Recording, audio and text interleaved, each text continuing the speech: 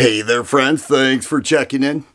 Most of the people go to a gun range to shoot their guns, work on a few skills, perhaps do a couple function checks, pack up their stuff, and leave. But there are other people that show up at the gun range that are annoying and they make you regret that you went to that range on that day to begin with.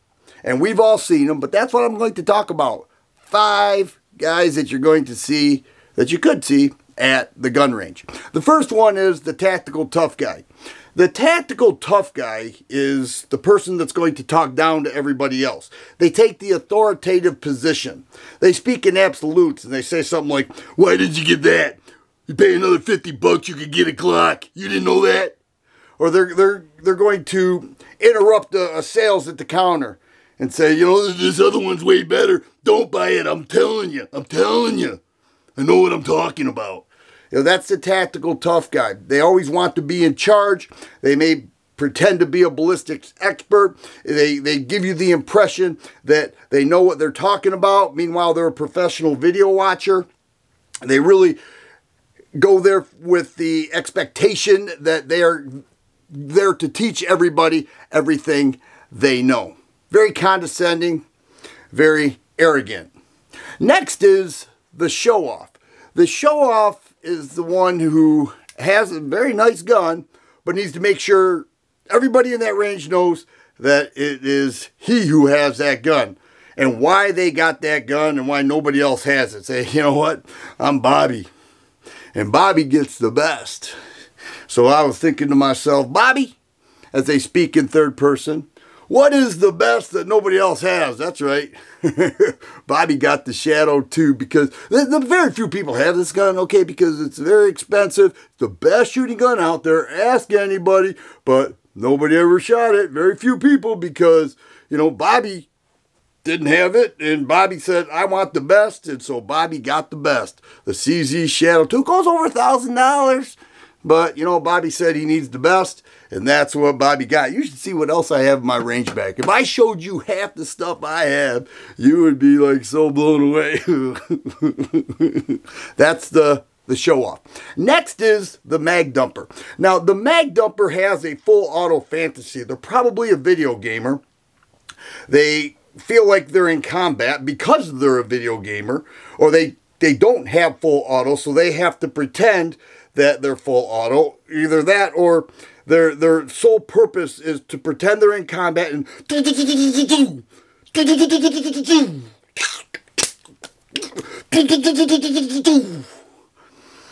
drives everybody crazy, gets people jumping, wondering what's going on. The the range officers are all upset, but yet the mag dumper is blowing through 500 rounds of ammo in 15 minutes. And if you look at the target, most of which didn't even hit the paper that's seven yards away because they're dumping so fast, the gun's jumping around, they're not even hitting the target. This is the type of people that these are that, that you don't want to be around in a shooting situation because they may make contact with the bad guy, but they're going to hit that person and that person and that person and that person because their means of self-defense is to mag dump on somebody probably the worst idea that I could think of. Next are the couples. The couples, I, I actually like couples at the range. I think it's kind of cute to see a little couple. They we're going to go have a date night at the range. but it's it's kind of funny in a way. Public display of affection's annoying. I don't care who you are. It's very annoying. But when when they're actually working on things, either that or the the the ladies off the side going, "Are we done yet? I'm starving." But you may see something like, you know, this gun's kind of cute, but do you want to see Big Daddy shoot this gun, baby? Oh, Big Daddy shoot this gun, watch. Meanwhile, she outshoots him. Or th things like that. Everybody appreciates couples getting involved in firearms, ammo, gear, self-defense. That's all good stuff. But it's that public display of affection, you know, that somebody's shooting, ooh, Gucci goo. it, it, it, it, it takes it to a whole new level.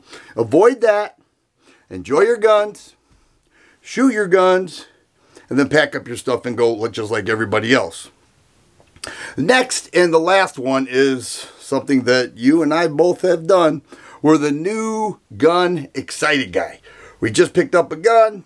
Maybe the range has a store next to it. You pick it up, you go right into the range, you shoot it, and then you have to let everybody there know that that's your new gun, why you got it. Hey man, I got the Walther PDP.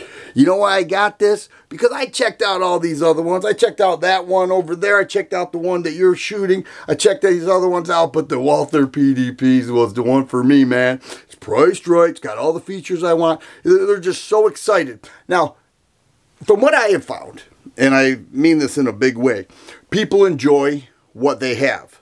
So if they have a PDP, whatever, that is the best gun out there. It's the best carry gun, it's the best range gun, it's the best home defense gun because they own it. We need to avoid that because there again, that, that kind of takes us into the tactical tough guy or the show off phase where we say, because I have it, it's the best. Not always so.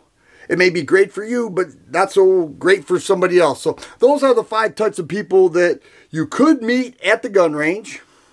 And I'm sure there are many more. Once I get the comments, I envision myself doing a part two of this video because there are just so many directions you could go with this topic. If you like videos like this, please subscribe and share. I always appreciate thumbs up button. Thanks for watching, and you guys be safe.